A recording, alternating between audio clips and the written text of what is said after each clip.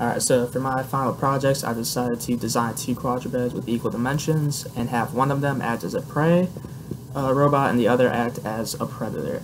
So the goal for the prey robot is to maximize distance from predator. The further away it is from the predator, the more fit it is, and vice versa for the predator. Uh, the closer it is to the prey, the more fit it is.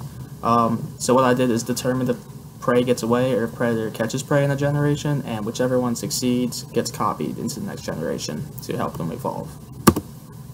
Uh, as for the implementation details, I used uh, the quadruped design that we had in earlier deliverables just for the ease of creating the two bots and just colored them differently to easily distinguish them as you'll soon see.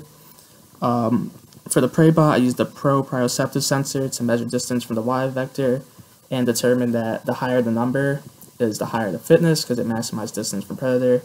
And it's kind of the other way around for the predator bot. I used the light sensor uh, for the predator to follow and the lower number equals the higher fitness since it minimizes distance. Here I have an example of two randomly selected robots. The red body green legged one over here is the predator and the one closer to the screen is the prey.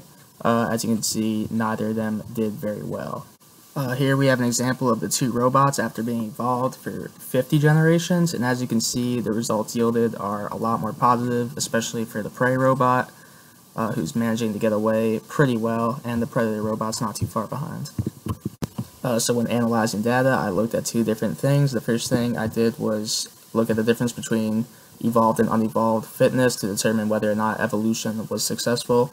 The second thing I did was uh, compare the fitness of the prey and predator robots over 50 generations with five member populations. Um, I set a difference threshold of 0.4 to determine whether or not um, the prey got away.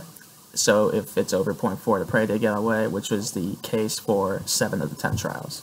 Uh, so overall, I would say this experiment was not an entire success because the prey robot was usually more successful than the predator, even though I expected kind of a 50-50 turnout. So in the future, I would have to look into different strategies for evaluating the predator's fitness.